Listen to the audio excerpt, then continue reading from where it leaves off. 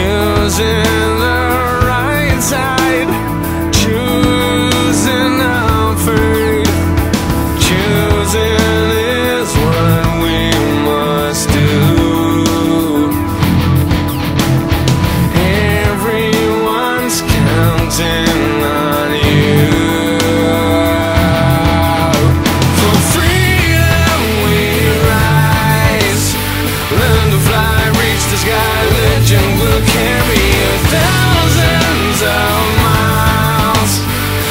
us stand, hold the land, make sure that